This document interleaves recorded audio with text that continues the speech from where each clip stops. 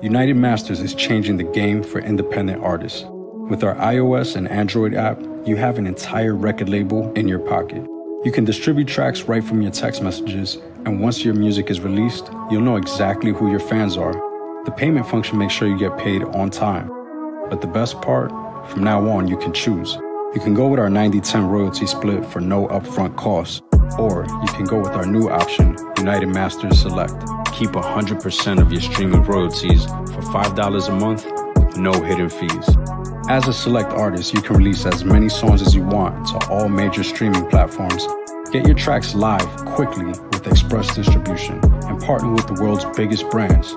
Your songs will reach millions through opportunities with ESPN, Twitch, and the NBA, just to name a few. Select artists can also get featured on Baseline, Apple's biggest playlist for independent artists. United Masters, a record label in your pocket. Hey, look, I pray you catch a wave that doesn't subside. This for the nappy heads in heaven.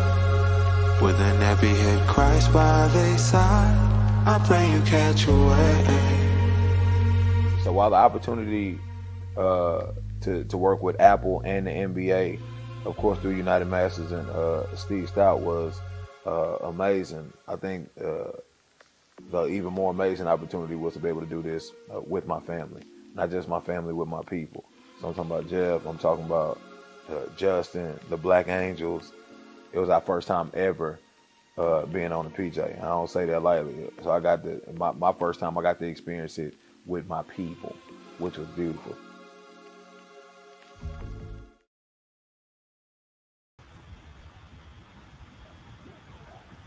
Okay. All right.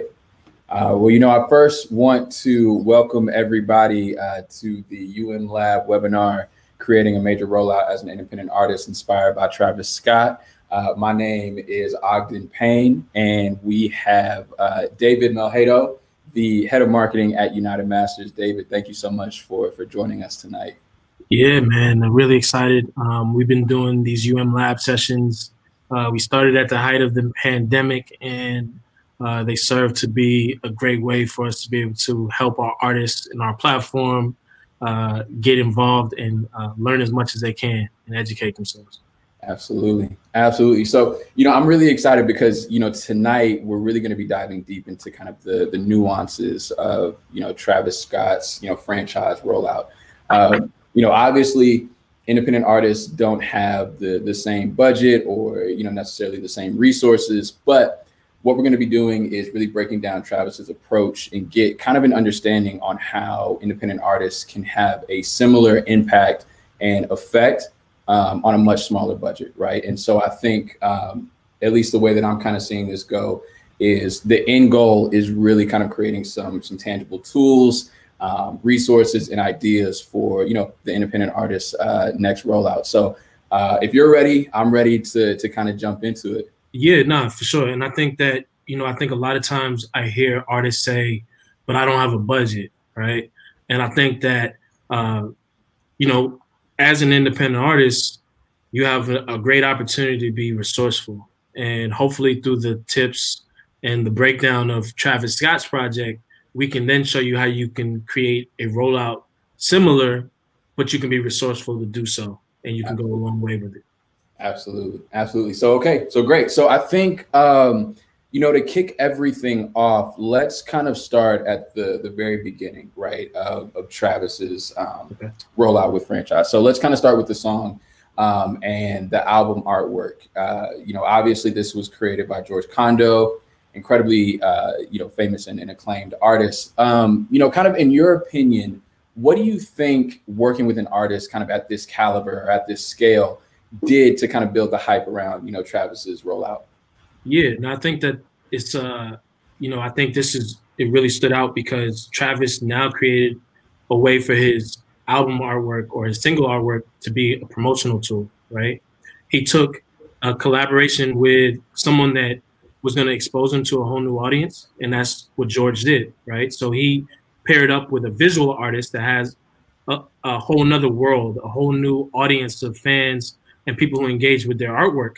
So now when you pair Travis with with George, it now brings you into a whole nother world and creates a whole new audience for you to be able to engage with.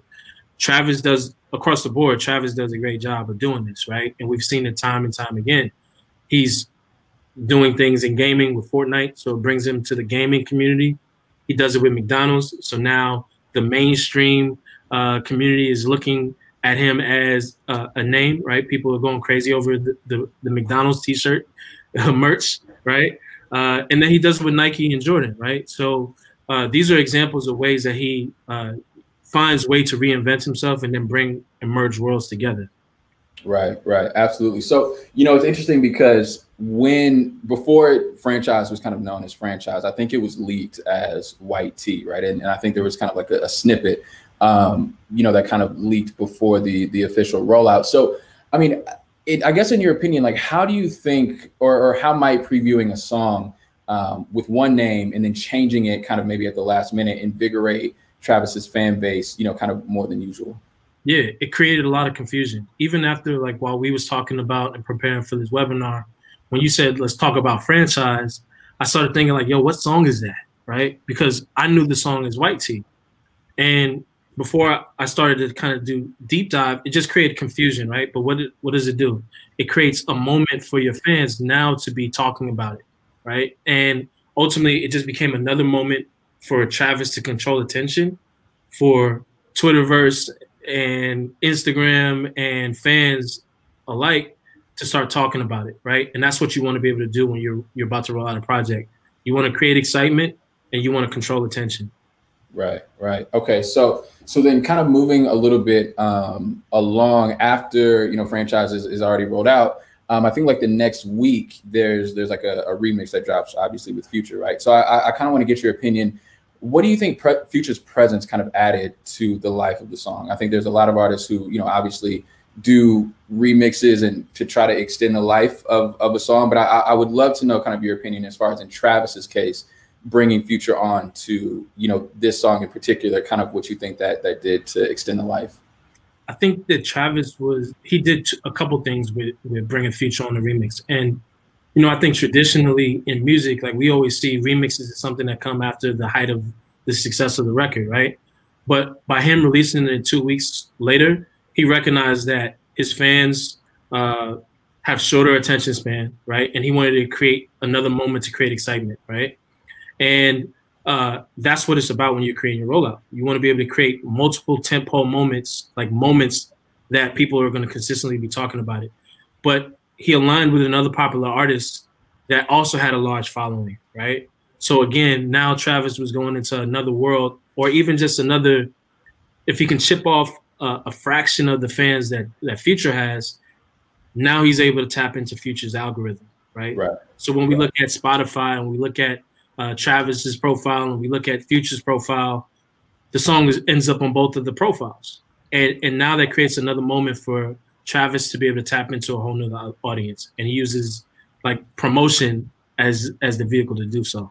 Right. Right. Okay. Cool. So so we kind of have this this foundation, right? Of okay, this is what kind of Travis did around just the song in general, right? From the album artwork to you know the the song itself, the remix, changing the name, moving forward, um, digital, right? And, and what Travis was kind of able to do uh, digitally, starting with his website.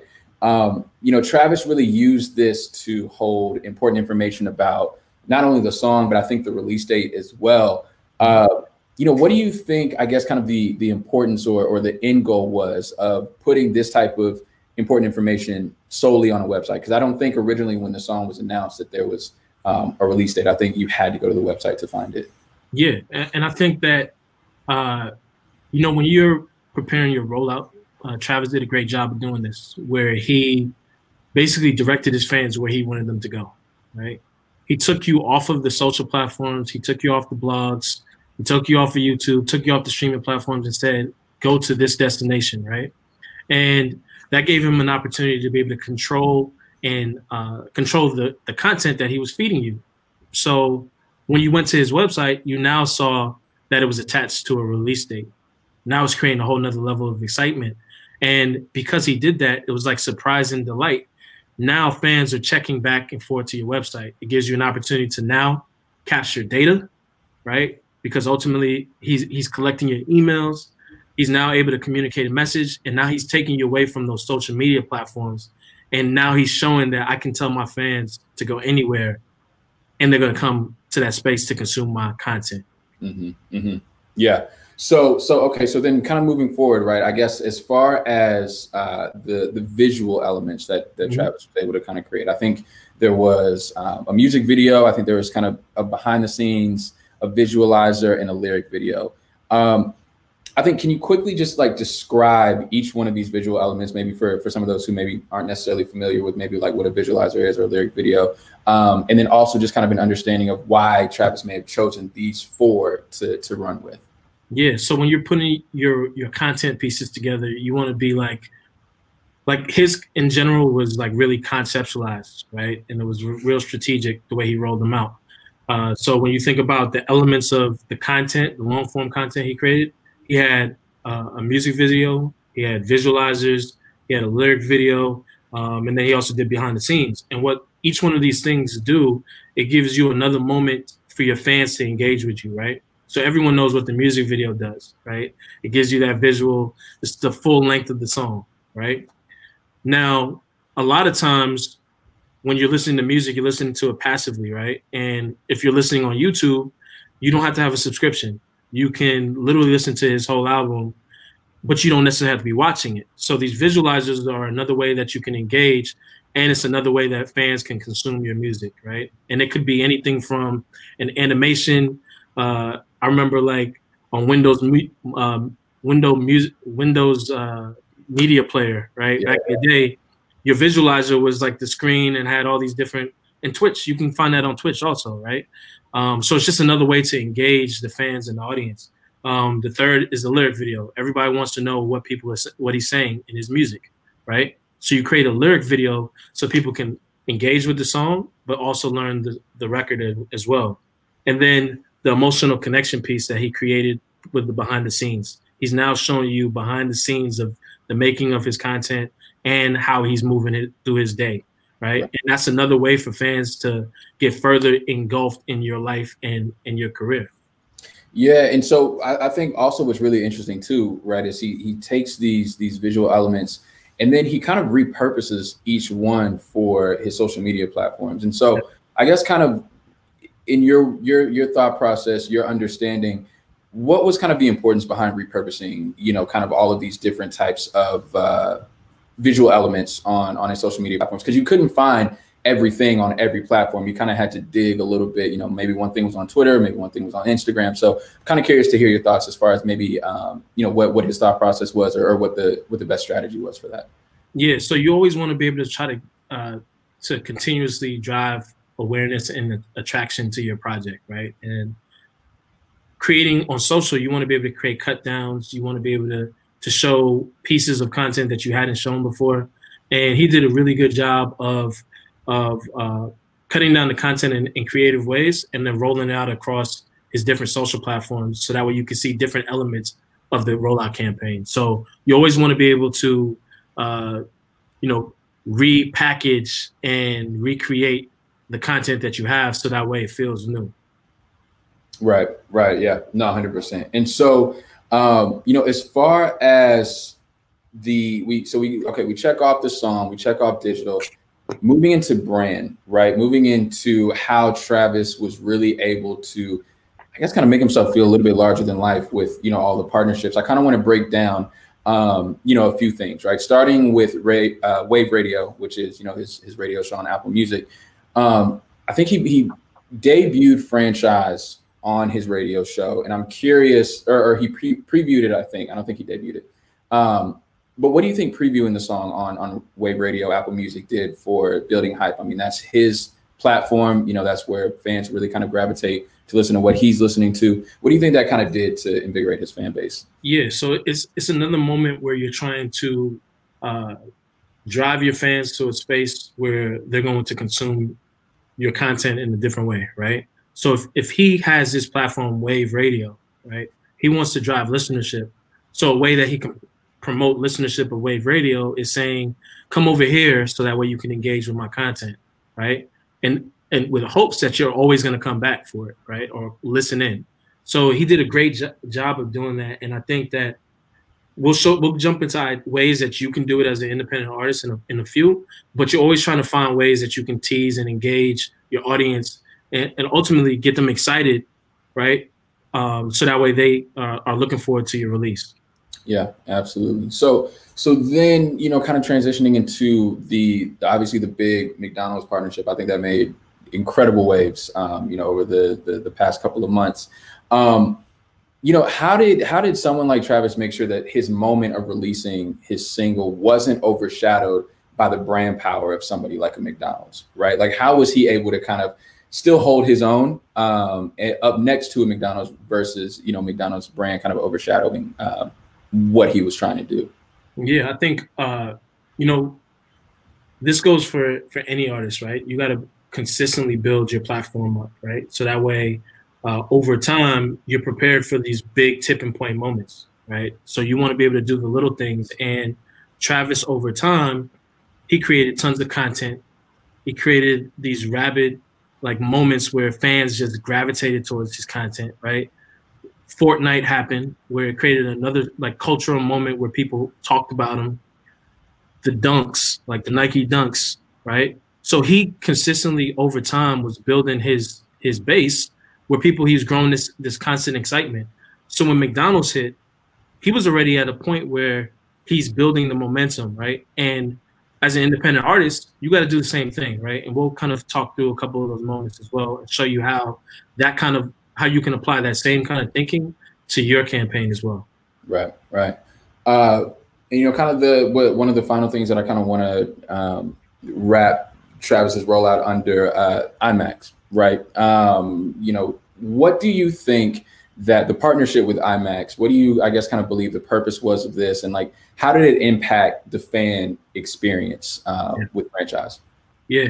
So like one of the, the most important things for me when I'm always saying with artists, I'm always really trying to drill down to them. Like, how are you going to create an emotional connection with your fan, right? After they listen to your song, after they finish watching your, your show, like what are they going to talk about right what are those little like almost like artifacts that they're going to take home and and cherish and remember right and the imax experience is that right he created an immersive experience where you was going to consume and watch his his video and enjoy it but it was going to be a, a talking point right and you're always trying to find as an as an artist as a manager um, when you're building your campaign you're always trying to find these moments where you can create the emotional connection with your fan and I think that that's key. A lot of people look past that, right? They're thinking about they're making the music for themselves, or uh, they're not thinking about how they're engaging or how the fans are uh, receiving the content or the music. But he's very much in tune into his audience, and he's able to now create experiences for your artists around that. The album before that, he created what was it? The uh, uh, the world, right? It was like a, a theme park, yeah, right?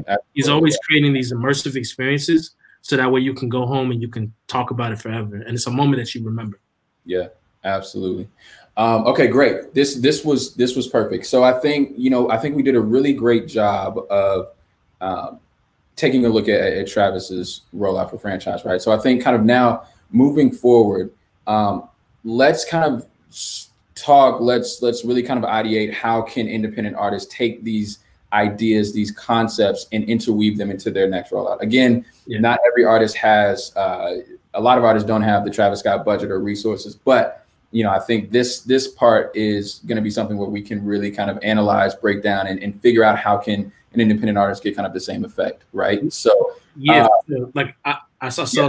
I think it was Joe. He said, uh, "Yeah, this is an established artist," but we wanted to show you what Travis Scott did because I think a lot of times you, there's a lot of gems and jewels that you can take from established artists that you can then apply to your own career and do it in your own way. So that's what we're about to show you how to to take uh, some of the strategy things. Right, we broke down the strategy like the, the three main elements that he had in his campaign, from the song rollout to the digital rollout and to the how he integrated brands. So we're going to show you how you can do the same thing as an independent artist for a fraction of the cost. Yeah, hundred percent. So let's let's let's start there, right? Um, going back to the song, album cover, album artwork, uh, you know, how should artists really be thinking about using cover art to further their promotion versus it versus it just being an, an artistic asset? You know, how can you really use your your cover art as a promotional tool, kind of in the same vein that Travis did? Yeah, I, I mean, ultimately, that's the first piece of the cover art is usually the first piece of uh, content that someone sees from you uh, as for your release, right? So if you think about it as your storefront, um, and it's the thing that people are going to remember, right? So I've actually done this a few times. I had an artist that was from Philadelphia, right? And he was heavily into art, visual arts as well. So we went to an artist named Gianni Lee, who is a, a well-known street artist in New York, but he's also from Philadelphia. So in the EP, we rolled out three singles, and we had Gianni Lee create the artwork for all those three singles, and we was able to tell a story for each one of the songs through that artwork. But what they did, it took that artist and put him into the art world, right? His artwork became collector collectors items, right? People were blowing up the the artwork covers and saving them, and then they was taking them to Gianni Lee when they would see him on the street to sign. So it just creates another moment for you to be able to engage with your audience in a creative way. And that's like I think that there's aspiring artists, like independent artists, but then there's also in the visual arts world, there's the same visual artists that are really dope. Like that's the next George, right? The next Gianni Lee that you can collaborate that's right in your own neighborhood. So it, it gives an opportunity for you to collaborate and then also rise together with the people that surround you. Yeah, and I also feel like that that helps tell a story. So you know when you want to go to to press as well, right? That kind of gives you an extra leg up versus you know everybody else who might be pitching to a, complex or you know whatever whatever other outlet. Um, yeah. You have this this really kind of unique angle within that. So I think that's that's really really interesting. Um, you know, kind of moving to the the same idea behind changing song titles I mean, should artists really consider changing their song titles as a promotion tactic, or how can they really kind of replicate this the same type of engagement and hype, and maybe even confusion, like you mentioned earlier, um, with a small following? Yeah, I think that there's a, a couple ways that you can do that. Um, you know, like we see it a lot on TikTok, right? A lot of artists upload their original sound on TikTok, and uh, they wait to see if it gains traction, and then wow, it's blowing up. Everybody's using my song or my my sound, and now I need it to go to the, on all the streaming platforms. And now you're naming it. So it's the same concept, right? And uh, at United Masters, we just partner with TikTok so that way artists on the platform can do that, right? So you can take your original sound on TikTok. You don't have to leave the app, and you can distribute your music to all the all the platforms. And this gives you an opportunity to then name it, right? But it's now giving you another moment where you can engage fans and and use your social media to engage fans to post your your like imagine you went on your Instagram page, Instagram story, release a snippet, and you told your fans to vote on a name, right? Now you're creating an engaging moment on social that you can then um, look to create another exciting moment for your for your fan base. Right, right, right. Okay, okay. Um, and then kind of going in the same vein, same pillar um, with remixes, right? I mean, how can artists leverage remixes into to more momentum, right? I mean, obviously, okay, the, the concept is you just get another uh, another artist who might be just as popular or more popular than you and get them on your song. But how can you kind of go a step beyond that um, to yeah. really make a moment out of the re- out of the remix? Yeah, as I answer this question, uh, for everyone who's watching, uh, in the comments, put where you get your beats from, because I think that could be a helpful way to to kind of set up my answer to this question. Because um, a lot of times artists are getting their beats off of YouTube, right? They're getting the beats off of BeatStars.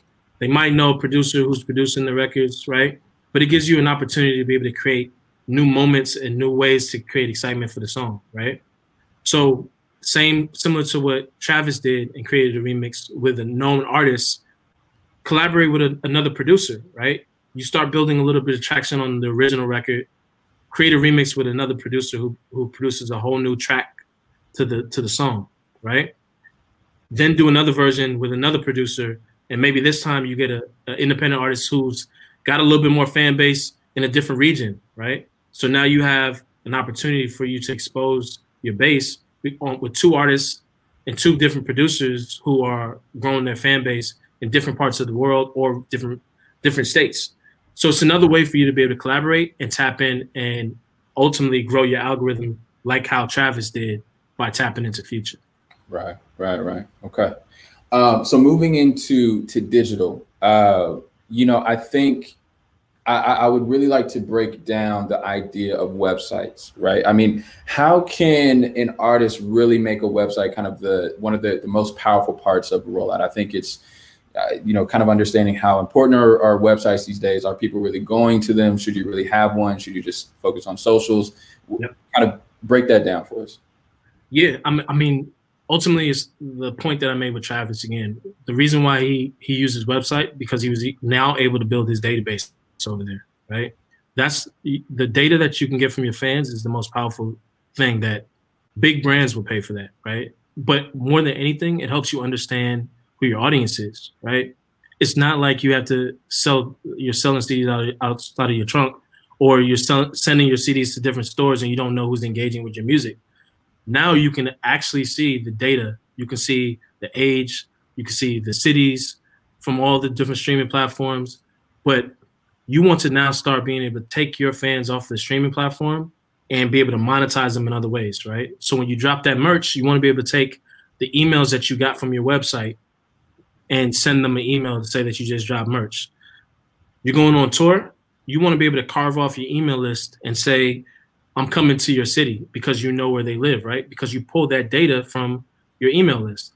So you always want to be able to create uh, ways that you can drive traffic to a property that you earn, you own, right? And that's what your website is. It gives you an opportunity to own your audience, and then you can engage with them in different ways. And in order to keep them engaged, you got to keep dropping snackable content. So an idea is upload different snackable content every week, right? Change out the the header image on your website. Upload a new video clip, right? That you're always driving traffic to, so that's the only place that you see it, or maybe it's just the first place that you see it right? You want to redirect people to properties that you own, so that way you can collect their their information and then you can use it to be able to market your campaign later on down the line. Yeah, yeah. So speaking of content, I think this is uh, this is actually going to be kind of one of my my favorite uh, questions to ask. Obviously, not everybody is going to be able to do the the million dollar visuals or, or even be able to create something um, as conceptual, you know, um, or on a conceptual level like Travis does. But where can artists go to get assets like a lyric video or visualizer made for you know under a thousand dollars, under five hundred dollars? Like, what are those resources? Where should they be tapping in? Yeah, there's there's a ton of websites out there that I use today, right? Because a lot of artists that we we have might not have the big budget, right? And even when I when I was working at a major label, I had artists that had budgets, but I would go to platforms like Fiverr, right? You can literally find a logo to a graphic designer to anything, right? You can get a voiceover, you can find a video editor. I've also used Upwork, right? That's a, a site where you can go and you can make bids on, or you, you put basically what you're looking for, and then uh, creators will come and make bids on your job, right? And say, I'll do it for 25. And then you have another person who's coming and saying, I'll do it for 15, right? And it's a great way for you to be able to create great content and it's really dope creators. Um, and then another platform that we even use at, at uh, United Masters for a lot of our like short form content or just uh, like visuals, graphic visuals is Canva, right? They have all these templates. Uh, it costs you little to nothing. Sometimes you might have to pay for a picture for a couple dollars, but you can create your artwork there. You can create your animated visuals there. You can create your visualizers on there. And it's just an opportunity for you to be able to uh, be res- resourceful, you don't have to go and get the thousand dollar uh, animated cover, right? You can animate your cover with platforms or Canva or Upwork with creators that are hungry and just, they just want to be able to show off their work. Right. So okay. So boom. So I have I, I have my visuals made. Now I'm going to you know put them on on socials. Um, how should artists be uh, I guess, approaching their their social media presence, right? I mean, different captions on each platform, developing different content on each platform. I mean, kind of what's your what what are your best practices for that? Yeah, you can't blast your content out just as is across all platforms. You have to start looking at uh, optimizing your content for all your different social platforms. So if you are on uh, Twitter, right, obviously you can't post the same kind of content you would post on Instagram, right? It's not going to be received the same way, right? Um, and you want to be able to optimize and give different versions of the content for each one of the platforms. So you should like it's almost like you create bespoke content for each platform, right? Um, but then I'm always with the philosophy that less is more sometimes. So uh, sometimes I won't start with like old school. Uh, we used to put like releases like in seven days my project is dropping, right? Because we needed to create the excitement, right? There wasn't as many digital outlets to be able to get the awareness out. You don't have to do that anymore. You literally can just wait three three days before your your release, drop a pre-save on your social, drive for swipe ups, and engage. But what you're doing is you're keeping the the gap that you want to control attention for really short, right? So that way the fans can then get straight to the content that you want them to consume and then enjoy it and then share it and spread it to the world, right? Like I just had a conversation with an artist who put out like my project is dropping 12 days away, right? And by the seventh day, he lost momentum and steam. So you always want to find ways that you can create content, keep uh, less is more from my perspective, and find ways to just keep momentum going by refreshing your content on social. Absolutely, absolutely. Okay, um, and and kind of moving into the the last section, right? Um, as far as you know, brands. Um, again, not everybody can collaborate with an IMAX or McDonald's or you know an Apple Music, but what are some innovative ways that artists can use to to utilize their fan base to to kick off their rollout? Very similar to the way that you know Travis used Apple Music and Wave Radio. Mm-hmm. What are maybe some uh, you know some some smaller uh, I guess kind of types of ideas that, that artists can start to implement? Yeah, I think uh, there's tons of ways. One off the top of my head, you might not have the big Apple radio station or like Wave Radio, but you can create your own podcast, right? You can have a podcast that could be about a totally different subject that's outside of music, but you can build your audience there, and now you have a way to be able to, to a platform to tease your music, right? You can have a conversation about anything nowadays, right? Um, but then two, uh, you can use platforms like SoundCloud to to kind of replicate that same idea that Travis teased his song on his radio show, right? One of the things we did with 3X Bravo, one of the artists on our platform, we put his song the night before it came out on SoundCloud, right? At about 7 p.m., we dropped it as a, a teaser, and we had all his fans communicate with him in his comments, right? So Bravo was responding to his fans in the comments of his song on SoundCloud. And by the time the song came out on all the other DSPs, he already had close to 20,000 streams on that song and about uh, a thousand comments on that particular song, right? So it's a way that you can create excitement um, and tease out your records on other platforms. You don't have to necessarily have to have the big platform, right? It costs you little to nothing, right? right? And then Baseline uh, at UnitedMasters, we have a playlist called Baseline that drops on Wednesdays. So you don't have to necessarily compete with the Friday releases and the noise from all the major labels or all the artists thinking they have to release on Fridays drop your, your record off cycle, right? This is a way that you can engage with a platform like Apple Music and the NBA and potentially submit your song to be added to the playlist, right? So now you have your own day of the week that you can engage your fans leading into the Friday when everyone else is talking about dropping their content. Right. Okay. Okay. Um, and you know, kind of my last couple of questions. Um, obviously working with McDonald's grand moment, right? I think everybody kind of looked at Travis as like, okay, wow, that was that was huge. How can you turn your release into a grand moment? Again, it might not be a McDonald's, but you know what what can you do um, as an independent artist to kind of create a similar moment, a similar feeling of, of grandness? Yeah, I mean, what what you're doing is you're, you're trying to create some com- create a conversation, right? It becomes a conversation piece. That's what the McDonald's thing was did you see that Travis has his own meal at McDonald's? Did you see that Travis dropped merch, right? And he created this frenzy by just creating a conversation piece, right? And you could do the same thing as an independent artist, right? Everyone knows of the food truck spot, right? A lot of cities have food truck parks. Go to one of the food trucks and see if they'll allow, allow you to pair some merch or drop uh, uh, a campaign along with your song, right? You can build an audience based off of things that are right in front of you, and I think a lot of times we we try to uh, go for the big moments, and if we can't get those big moments, then we we don't look at it as a, a success. But as an independent artist, it's about the journey that you're you're consistently building all these different things. You're building momentum. You're stacking these these different chips until you have a tipping point moment. So going to a local food spot, going to the local breakfast spot, and dropping a doing a, a asking them to to name a song after you, or a, name a, a dish after you, right, for a limited period of time these are creative ways that you can kind of replicate the same idea of what Travis did to create a conversation piece. And it's, it's literally right in your backyard. I know that everyone probably knows someone who has a restaurant or someone who is has a food truck. Right, right, right. I love that. I love that. Okay. Um, and you know the the IMAX equivalent, right? Um, not everybody can rent out a theater to do that, but uh, you know, what are some you know similar ideas that artists can do to really immerse their core fan base um, core group of key, core group of, of fans um, once their song is released. Yeah. Um, again, it's it's like how do you create that emotional connection, right?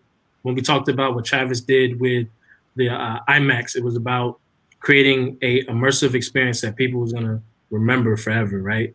When he did Astroworld, that's exactly what people did, right? He created Astroworld that people talked about, and you create an emotional connection. So, like, I love what I don't know if you guys are familiar with uh, the parking lot concert. Like, as soon as COVID hit, the guys down in Atlanta they started doing these parking lot concerts where people was driving up and they was literally doing shows on the top of a, a long flatbed truck, right? And it started to create, create momentum, right? It was a new way for people to consume your music or to engage with you, right? and it became a, a, a conversation piece. But ultimately, it now becomes the moment that in a time of COVID, you can pull up to a spot in your car and engage with your favorite artist or local artists in the case of, of parking lot concert. But on a small scale, like you can YouTube, you can utilize platforms like YouTube, right?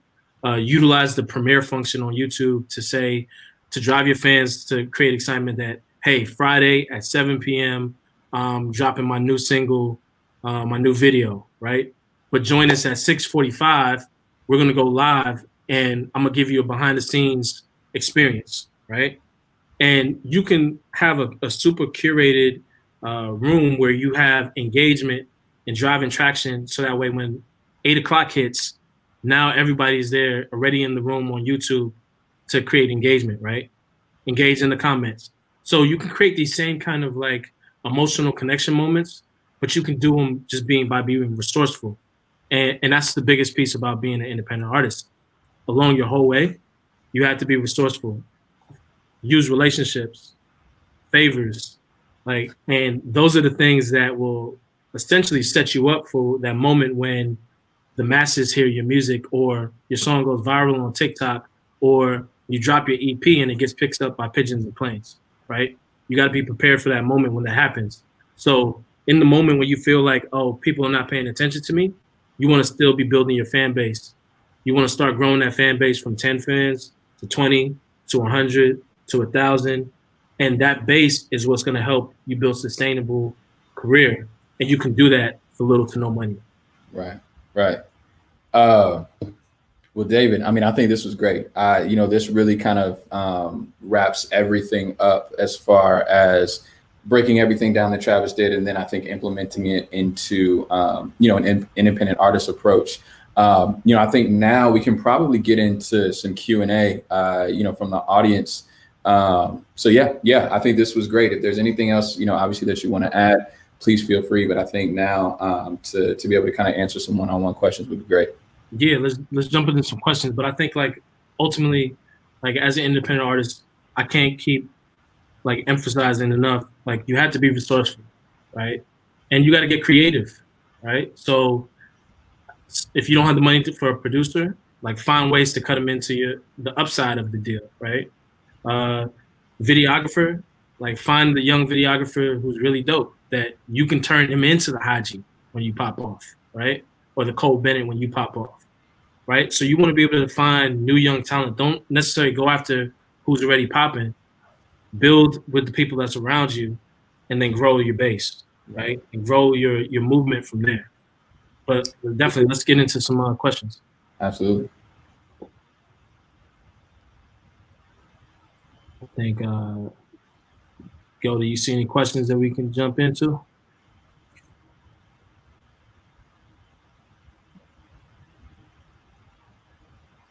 Cool. So, what's the ideal amount of time to promote and put money on campaigns for your album visuals before they actually drop the album? Amount of time to promote.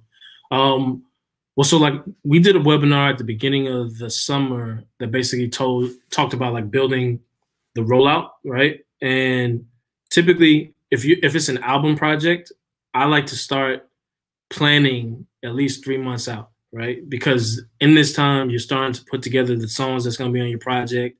You're starting to think about like what are you naming your project, and you're really starting to get the pieces. You're ideating, right? And this is a great opportunity for you to be able to create your narrative, right, for your project, right? Because your narrative is then is going to seep into the marketing drivers that you create. That's going to happen in mark month two, right? So two months before the project, your album project is dropping or your EP, whatever, you're now ideating and you're starting to create the content for your project, right? Month one, you're just kind of like buttoning up the last little few things, right? You're going out and if you have a budget that you're going to spend on influencers, you're now starting to say, this is how much I'm going to allocate to these four influencers, and the rest of it is going to go towards uh, some independent playlist or some influencers do reaction videos to my music video, right? But as far as the how much money you should put in, is case by case, right? Like in certain artists, like I always look at like what am I trying to the the key things that I'm trying to accomplish, right? If I'm trying to create some excitement, right? But I'm just starting out, then maybe I might take $500 and test it somewhere, Maybe I'm testing it on uh, a post on Our Generation Music, right? And I'm trying to see if I, I'm building some traction or if I got some feedback from it, right? I don't just dump money into something because that's what they say the cost is. I'll test it and then measure the growth.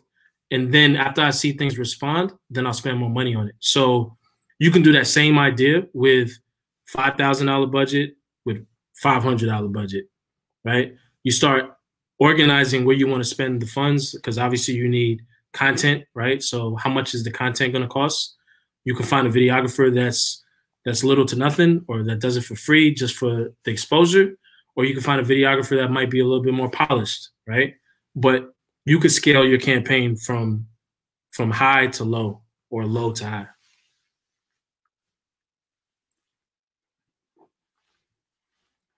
Dope. Okay. Uh, let's see. How do you get listeners to actually leave social platforms? Uh, that's a good question, right? So part of uh, trying to get a, a listener to go to your your website or to go to another platform is you got to have some sort of hook, right? And like the hook might be a piece of content, right? It might be uh, an announcement that you're going to make an announcement, but you're going to do it from this page. It could be I'm dropping my video, my music video. Yes, it's it's live on YouTube, but instead of promoting YouTube's link, you're promoting your website link, right? And it's just using different tactics and different uh, like hooks that are going to get people to go where you need them to go, right? Like everybody's going crazy over the PS5, right?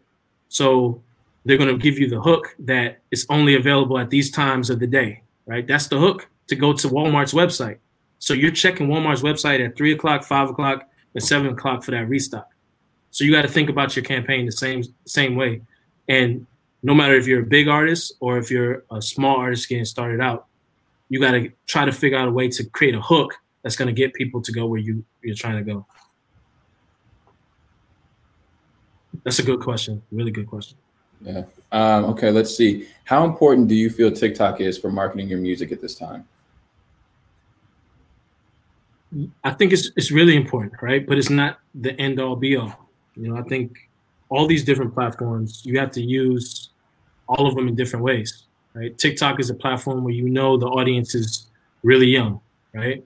And what started off as a platform that was like lip syncing and just dance challenges is now starting to have a lot more content. You can go on TikTok and learn educational content on there, right? So you got to look at it as a way where if you're going to to do the play the TikTok game, you have to do it in a way that's authentic to your campaign, right? So if you have a, a song that's real serious, you're not gonna go get Charli D'Amelio to do a dance to your real serious song and try to create a dance challenge, right? You want to be able to create something on the platform that's going to create a conversation on the platform, right? But still fits in the style, right? But you can't be limited to just TikTok. You also have to then go to drive people to your Spotify, drive people to your Apple Music, right? Drive people to your SoundCloud, build your website, right? And all these things work together. You can't just rely on TikTok, but it is a big piece, right? Just like everything else is. Right. What is included in the ideal EPK for an EP you're projecting to release? Cool. So I don't necessarily call them EPKs. I, I usually call them marketing briefs, right? And in our marketing brief, we always start with our narrative, right? What is the narrative? Like who who is the artist? What does that artist stand for? And why should I listen to this project? Right? It's basically the story. You start there. Then start thinking about the marketing drivers, right? These are things that are going to uh, get people engaged, right? That could be your video, it could be a live show, it could be uh, a, a, social activation, it could be um, it could be your website, right? And then for all those drivers, I create tactics. Like, how am I going to get the word out about those drivers? Or how am I going to get people to engage with those drivers, the video? All right, cool. So I'm to get WorldStar to, the tactic is I'm to get WorldStar to post um, my video, or I'm going to get, uh, create a, a video game on my website. Like literally for one of our projects, Eneli Chapa, we created a video game for a thousand dollars and we put it on his website. And every time you played the video game, which was it was like a hot shot basketball game, every time you played it, you were streaming his song on Spotify. So like like we outline those things in the EPK so that way one for your team you understand what the vision is, what the plan is, but then two when you're sending out to partners like finding that food truck that's going to partner with you or engage with you, you're sending them your your marketing brief to show them like, yo, I'm, I really thought about this. This is how I'm marketing my, my project, and these are the things I'm going to do to make it successful, right? And uh, that's what we usually do in the marketing brief, and we do that for a lot of our artists on on platform that uh, are um, that have built momentum and just need a little bit more to get over the edge. Uh, can you explain how content? Uh, can you explain how content would be different for Twitter and Instagram and Facebook?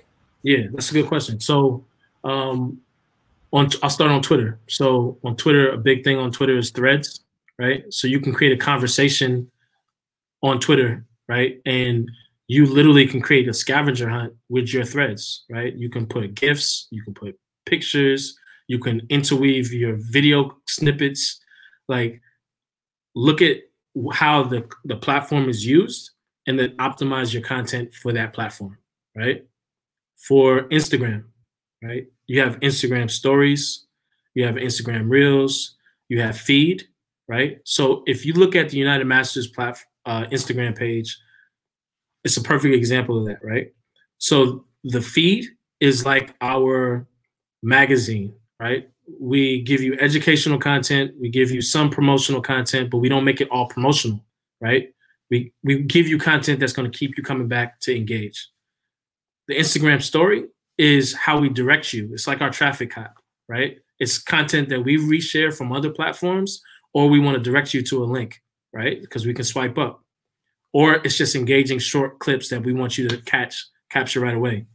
Reels is is it's a hybrid of like uh, showcasing artist talent or some maybe some funny content, right? So I think one reel that we just started we posted was the PS PS5 meme, right? So each platform you should look at how the best way uh, to use their tools and optimize it for that way. Like on stories on Instagram, you can use you can do polls, you can do uh, animated Giphies, you can do a lot of different things on on Instagram story to engage your fan and go live on Instagram as well. We almost forgot about that. We go live every Tuesday on Instagram Live. Absolutely. Do you see TikTok and Spotify, Apple Music playlists as the new radio? Yeah, absolutely. Um, but I think radio still has its space, right? Um, but there's just more spaces now because digital and social is is a big deal, right? Um, and each one of these platforms have their own different audience, right? TikTok is completely free, right? It's a lot younger audience there. Um, so that's like the radio for the young, what, 25 and under, right? That's where they're finding out their trends. Spotify is highly curated, it's playlists, right? But you don't have to have a subscription to listen, right? So for that audience that might not have the disposable income, they can go on Spotify and listen to your music for free, right? With some ads, of course, but it's curated. So like you have playlisters who are telling you what you should listen to. And then Apple Music is a little bit more premium, right? Because you have to pay subscription to be able to listen to the platform. But all these platforms are the radio, including radio. Right, right. Any quick advice, best practices for pitching to blogs and playlist curators? Yeah. So um, early on in, in my career, uh, one of the ways that I found bloggers was through Twitter, right? So I I figured out that bloggers would always tweet out their articles after they wrote them, and what I would do is I would go on the blogs and figure out what the name of the person was, and then do a Google search, and then search them on Twitter, and then search for them on Instagram, on Facebook, and then I would try to send them a note try to find an email, right? And try to make it organic, build the organic relationship with them. But then also look to see who they're following, right? Because bloggers, playlist curators are people too, right? So they consume music or they have fans, they're fans of different things, right? And they're influenced by certain things as well. So if you know that the Apple Music curator follows these influencers, then maybe you should try to get your music and content to one of those influencers, right? So that way they discover your music from one of the influencer pages. So it's always like I always approached uh, music marketing as being like the hacker of the whole campaign, right? You have to find a way to get to your end result, your outcome, and do it in a creative way that's going to get people talking and create a moment where people remember you. So think about your marketing strategy and how you can get to the blogs and to the playlist curators, it's like how am I going to hack the process?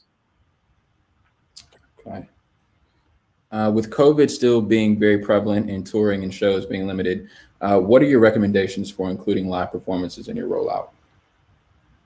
Yeah, I, I think that there's, uh, you know, COVID hit us like I don't think anybody expected what what COVID was going to do, right? And but it also showed us that resourcefulness was a way that you can still reach your fans. Like you see artists doing live stream shows, right?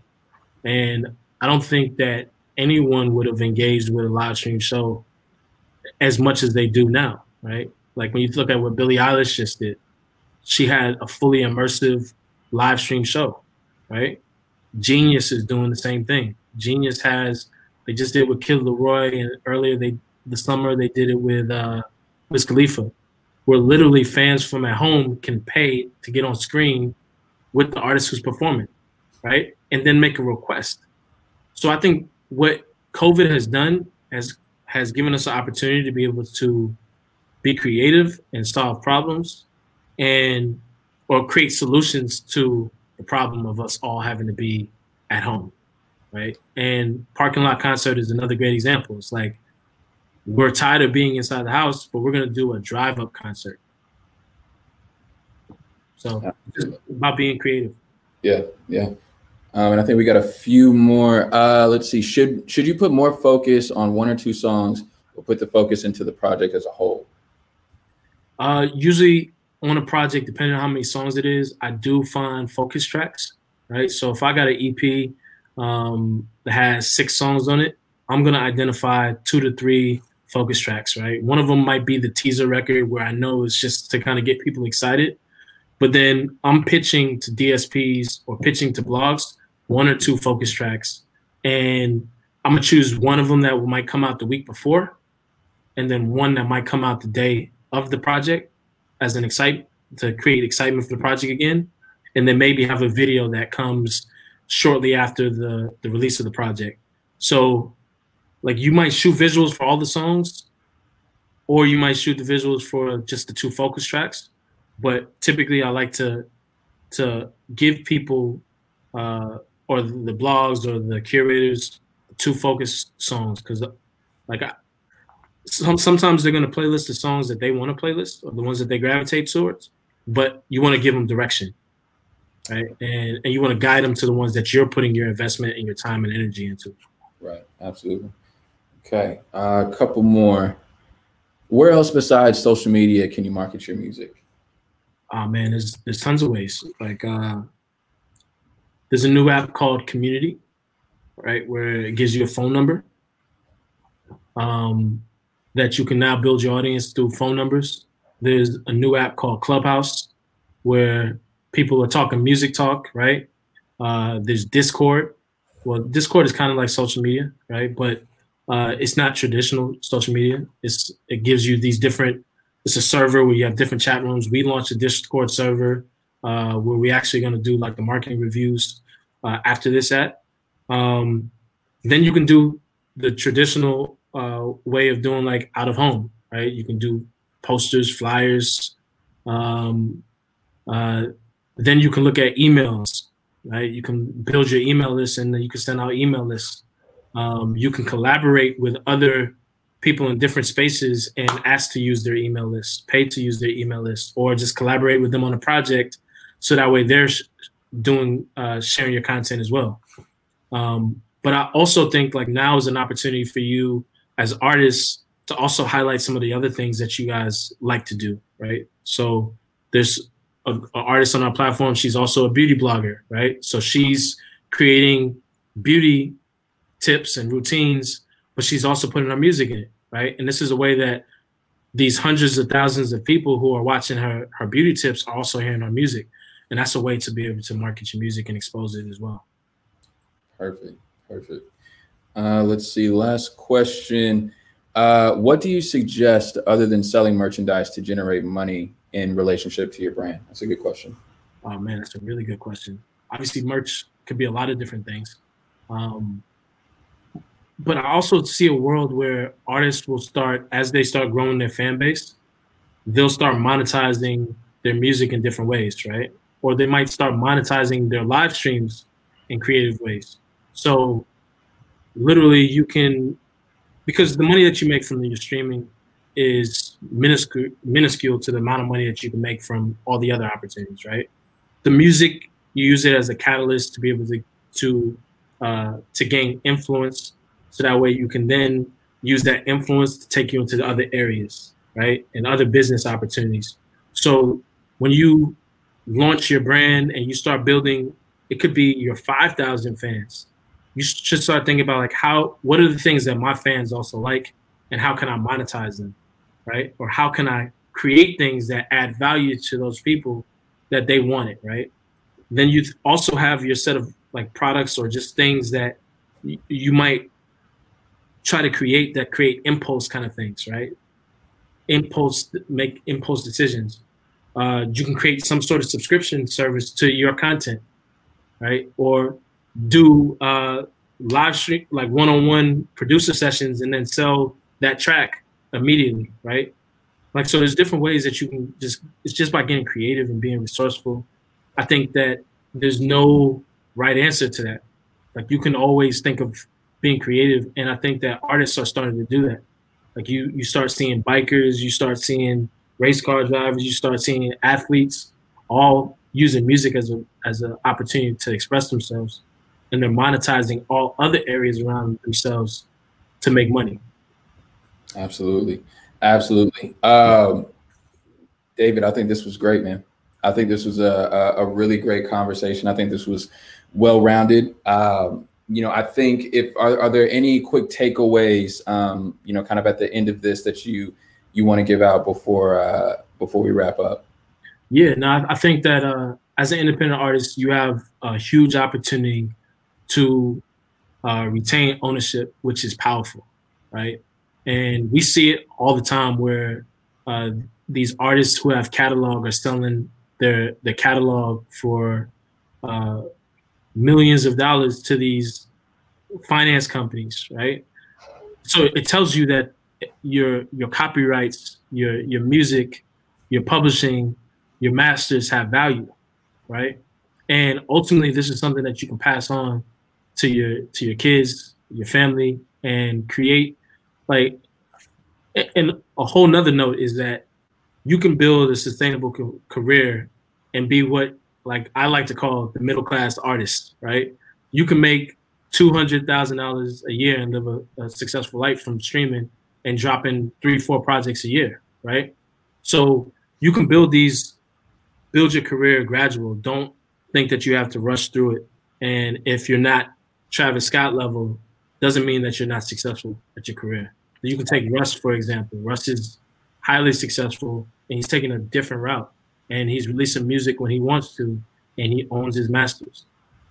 Yeah, yeah, a hundred percent. Uh, well, David, again, thank you, you know, so much for your time. Um, you know, for everybody who's tuning in, please, you know, feel free to head over to Discord. We're going to be, uh, you know, reviewing um, some marketing plans. So this isn't over. Um, you know, we would love to see you guys kind of head over there. Um, but I think for for this part of the webinar, I think we're uh, we're about to wrap up. So again, David, thank you so much for your time, um, and and UM Lab. This was uh, this was a great session. Dope. Thanks, everybody. Awesome.